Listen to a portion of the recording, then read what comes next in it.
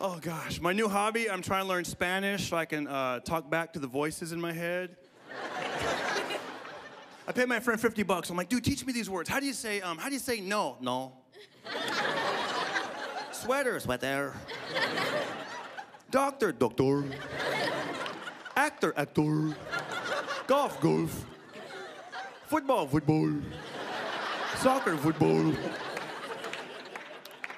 Can I have my 50 bucks back? Or at least make it harder. How about uh, construction? Construction. Car, carro. Uh, milk, leche. leche, dude, that's not even close. Are you sure it's not like El Milko or something? Or, or La Milka, right? Or grrr, milk. I don't know who discovered Spanish, but they were hilarious, right? Like that, well, not discovered it, right? Like, invented it. You don't really discover. There wasn't some dude on a rock. Whoa, there goes Spanish.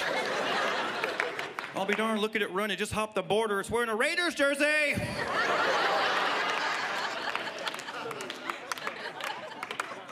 Whoever came up with Spanish was hilarious, right? They, uh, they gave inanimate objects a sexuality, right? Certain things are masculine, certain things are feminine. There's no rhyme or reason, right? Like that mic stand is masculine, that stool is feminine, that backdrop is gay.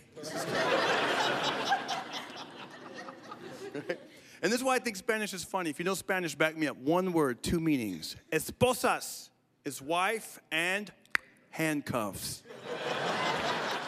That's right. I've been married for 10 years. I believe this is not an accidente.